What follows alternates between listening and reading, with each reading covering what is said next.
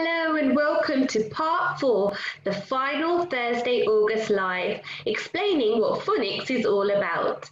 I will be focusing on the final seventh aspect of phase one phonics, which is usually covered in preschool and nursery, phase two phonics, which is usually covered in the autumn term in reception, and as a bonus, I will also be explaining phase three phonics, which typically begins around the spring term of reception, but can vary, and phase four phonics, which typically begins around the summer term of reception, but again, this may vary. My name is Zara. I am an experienced early years in Key Stage 1 teacher and founder of Little Learners Education.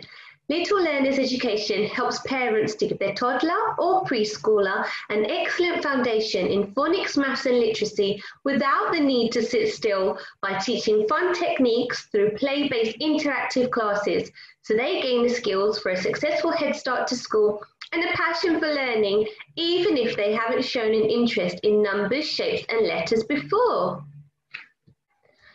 I will deliver this session in three sections. Firstly, to give a quick recap on what phonics is and what this means.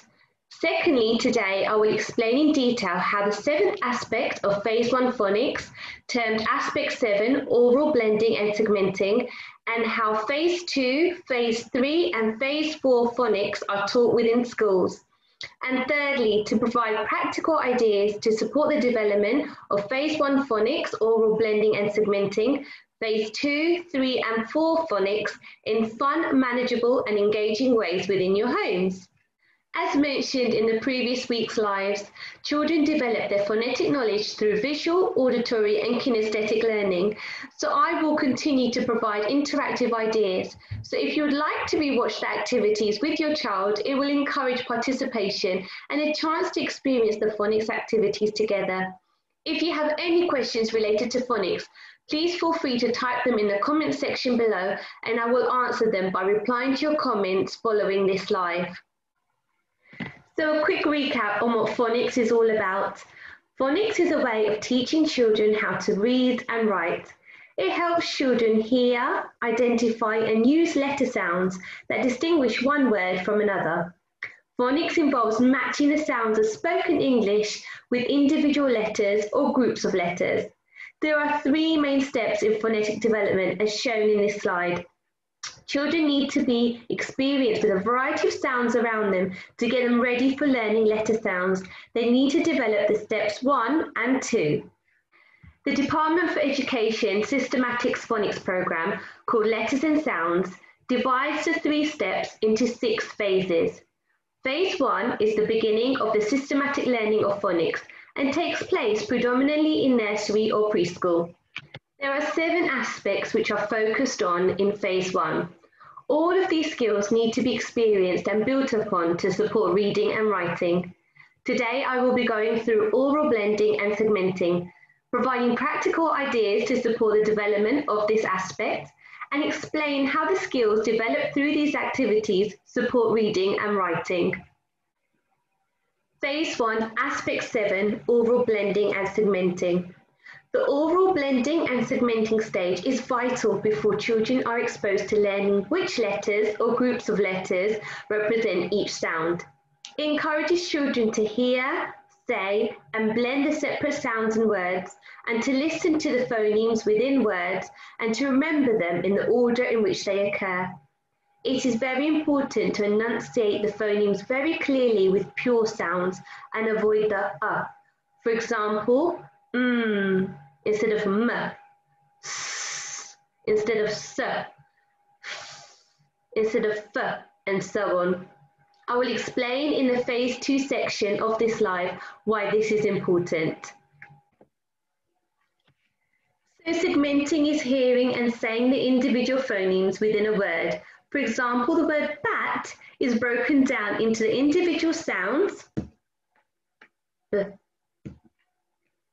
a, t.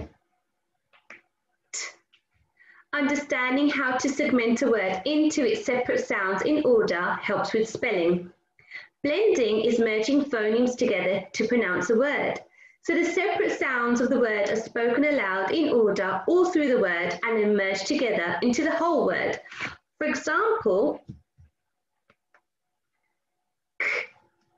at is merged and blend together to make the word cat.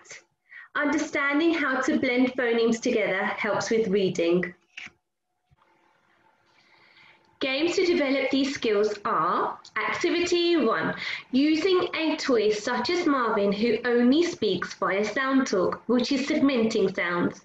So in this game, the child uses their knowledge of blending sounds to find out what Marvin is saying and also using their knowledge to segment sounds to speak back to Marvin.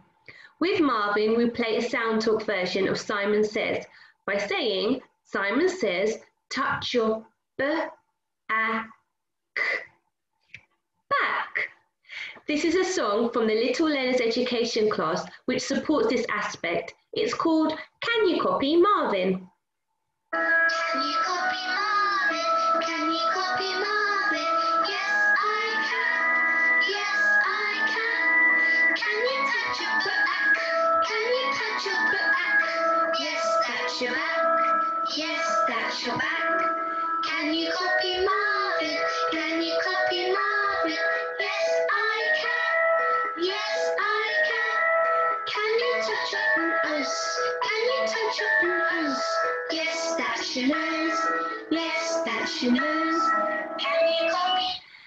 Song continues.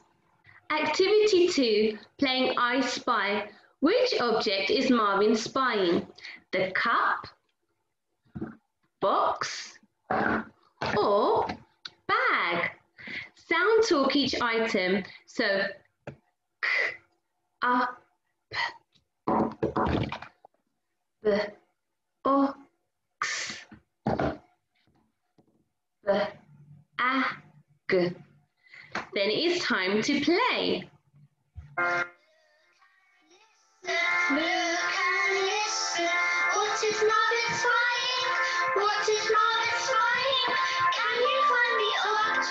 Can you find the object?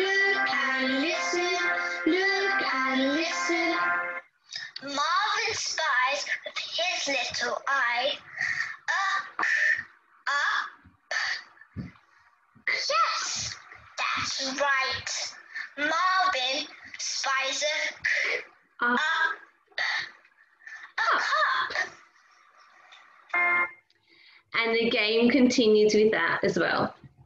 Activity three, you can also break down a word into sound talk when speaking about everyday routines. For example, it is time for b, e, d, bed. Can you put on your k, o, t, coat?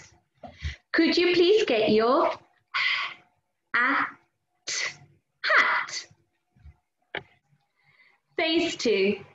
Once your child is competent within the skills in phase one, they are introduced to start recognizing the grapheme, which is the letter, which represents the phoneme, which is the letter sound. For example, the letter S makes the sound S. This typically begins when a child joins reception. Phase two builds upon the oral blending and segmenting of the previous phase, and they progress from oral blending and segmenting to blending and segmenting with letters. They are taught the grapheme phoneme representation for 20 letters, and that phonemes, the letter sounds, can be represented by more than one letter. For example, in the word fin, the f in fin is represented as one single F, and in the word huff, the is represented as a double F. Four letters are usually taught each week. The suggested order for the teaching of letter sounds varies slightly between systematic phonics program, but usually the letters S, A, T, P, I, N, M are taught first as you can blend and segment them to read and write several simple words such as sat, pin, tap, pat. So the process of learning a sound includes saying a number of words with the same initial sound and exaggerating it. For example, snake, sun, spider. Then showing the children the grapheme, which is the letter that represents the sound.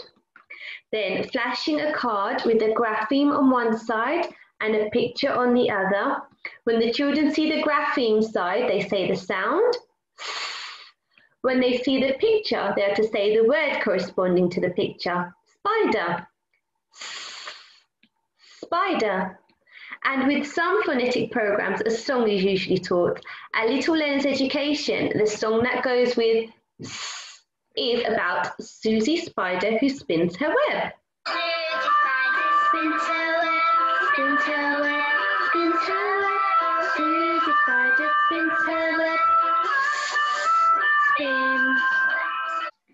During this phase, children will be taught to read different words using the sounds and letters they have been exposed to. For example, two-letter words such as as, am, on, and it, and three-letter words such as cat, dog, pen. Progressing on to reading captions and spelling words using magnetic letters. As mentioned before, pure sounds should be used when children are saying letter sounds. This means that the ah after a consonant should not be said, and the sound should be pronounced like this rather than f. As if I was to write the word fish not using pure sounds and said f, i, sh. It would be written like this, which can be very confusing. So pure sounds need to be used. I, sh, like this. During this phase, the children will also be exposed to tricky words, also termed red words. These are words that cannot be sounded out the, to, I, go, no. Phase three typically begins around the spring term and reception, but can vary. The purpose of this phase is to teach more graphemes, which are the remaining letters of the alphabet, and some sounds which are made up of two or three letters, known as digraphs and trigraphs. For example, E as in the word be, and air as in the word chair. Children would be taught these terms digraphs and trigraphs and become proud of knowing what these terms mean. It is important for children to quickly learn to recognize digraphs and trigraphs as one sound rather than separate letter sounds. For example, rain should be read as r, a, n, not r, a, i, n. So children will learn that this word has three phonemes, three letter sounds, r, a, n. In phase three, children will practice blending and segmenting a wider range of CVC words, consonant, vowel, consonant. I will provide fun ideas on how to support this shortly. They will also learn to sight read more tricky words and begin to spell them. These are words that cannot be phonetically sounded out. They will learn the grapheme for the phoneme and read and spell simple sentences. Phase 4. Phase 4 typically begins around the summer term of reception but can vary. The purpose of this phase is to consolidate the sounds already taught Children will be exposed to adjacent consonant, consonant blends, and consonant clusters and multisyllabic words. Examples of these and what this means can be seen on the slide and are taught as follows.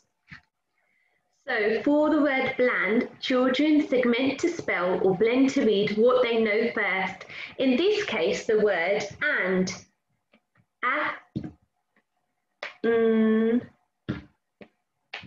d. And then the is placed in front to spell the word bland. Children are encouraged to start learning to read words on sight as this improves fluency and to progress from blending out aloud to blending in their head before reading on sight. So now I will go through fun practical ideas to support the development of skills mentioned in phase two, three and four. So the first thing to mention is make the activities fun within the home and short bursts. A general rule of thumb is a child's attention span is between two to four minutes per year of the child's age. So if the child is five years old, it will be between 10 to 20 minutes. So stop, take a break, come back to it, or chop and change between the activities to keep it fun and exciting. So firstly, I'll go through activities to support recognizing the grapheme, which is the letter, which represents the phoneme, which is the letter sound. So I have flashcards here with the letters written on them, but these graphemes can be written onto pieces of paper, card, post-it notes. Once the letters are written onto them, place them around the room or on the floor or stick them onto the wall and take it in turns being the caller. So the caller shouts out a letter and the player runs and gives it a high five. The letter sounds can also be placed onto the floor and a ball can be used to bounce onto the letter sound as it is called out or splat it with a tube, anything you think that you, your child will enjoy doing. This can be done as they come into the kitchen for breakfast as a quick activity. You can also create doubles of each grapheme to play games such as Snap by saying the sound of the grapheme on the card as it's placed down into the center of the pile and shout Snap when the same grapheme is placed down consecutively. You can also play memory games with these flashcards by placing doubles of the graphemes face down in rows, turn two cards over and say the sounds on them. And if the graphemes are the same, then the cards are removed from the game. And if not, they are turned back face down. And the fourth idea is singing letter sound songs. So learning through song has been shown to be an effective way to memorize and learn. Babies' first sentences are nursery rhymes such as Twinkle Twinkle. At Little Learners Education, we have a song for each of the letter sounds along with a fun action. So supporting reading of words. A great game to support reading of words is through writing real words and nonsense words onto circular paper or post-it notes. The game is played by blending to read the words and sorting them into treasure words, real words, by reading the word and placing it into the treasure chest, or blending to read fake words, nonsense words, which are then placed into the rubbish. To make this even more enticing, the coins can be buried inside sand. I've got here some rainbow rice, so it becomes a pirate treasure hunt. So you could place some paper clips on top and fish for it using a magnet. Like this, and then do the same of placing the real words into the treasure chest and the fake words into the bin. Other ways of keeping reading of words fun are writing words onto balloons. The game is played by rolling or kicking the real words into a goal and fake words thrown into a laundry basket or the bin. Matching words to pictures or matching captions to images is also a great way to support reading. A fun activity to support this is Lucky Dip. So place four to five items into a bag or a box along with the written word of the items written on strips of paper. The game is then played by the child picking out one of the items from the box and one of the strips of paper. The child then blends to read the word to see if the word matches the object. If it does, they keep it and the game continues. This is great for toys that have been forgotten about to make a reappearance and be played with again by placing them into the lucky dip. You can also add sh shredded paper to add to the lucky dip effect. Reading of tricky words. The reading of tricky words can also be turned into games such as hopscotch, bowling, ring toss, bingo, and fireworks. Some of these are shown in the images. So I will go through one of these examples, which is bingo. So each player selects a bingo mat, which is just a piece of paper divided into four, and four pieces of paper from the box, so four tricky words from the box. Each player select, reads the words on the pieces of paper and writes the four tricky words they have selected one word into each of the boxes on the bingo mat. The player then returns all their pieces of paper back into the box and then you take it in turn. So close your eyes and select a piece of paper from the box and call out the tricky word on the paper, B. All the players then check their bingo mats for this word. If any of the players have the word that was just called out on their bingo mat, they cross it out. The first player to cross out all four words on their bingo mat shouts bingo. So the spelling of words can also be turned into fun learning games. One of my favorites is spelling with Duplo or Lego. So just connecting the blocks and reading the words made. Another game is full circle. So I have magnetic letters here, but you can use pieces of paper with the letters written on each of the pieces of paper. So choose a word and ask your child to use the letters to make the word. Then just change one letter to create a new word. So for example, ask them to spell the word sat, so at, and then say, can you change sat into sit? It, that at is replaced by an it. And the game continues until the last word changes to make the initial word that you began with. So sat changes into sit, and then sit, and then change it into tip, and then change tip into tap, and then tap into and then sap goes back into sat. You can also play this using the Duplo. So you could change, ask them to change the word sat that they've made into sit. So replacing the a into an i to make sit.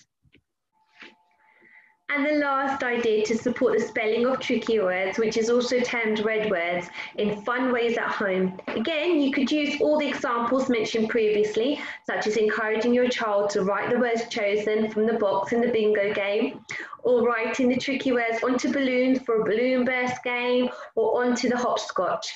Other fun ways to spell is by writing in different materials, such as a small tray of rice or flour or lentils, Children enjoy this as the writing is not permanent like pen and paper. If an error is made, within seconds it can be erased away by just shaking the rice, lentils or flour on the tray. They can mark make using their fingers or a feather or a paintbrush is also a great way. So a common question is, when are capital letters and letter names taught? So capital letters and letter names are taught in phase three, so around the spring term in their reception year.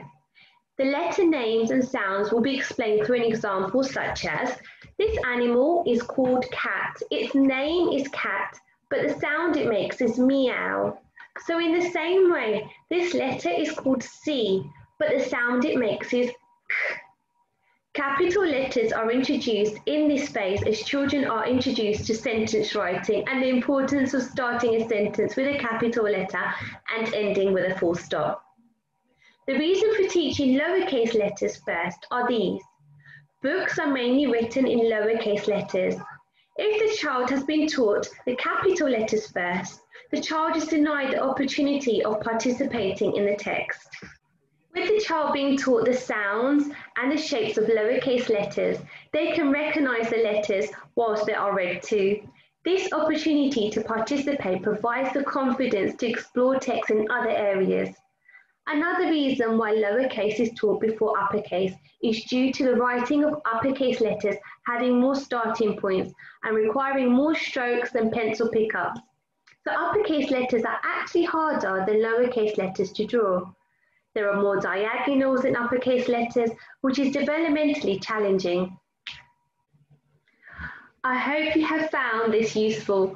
If you have any questions related to phonics, please feel free to type them in the comment section below and I will answer them by replying to your comments following this live. Goodbye.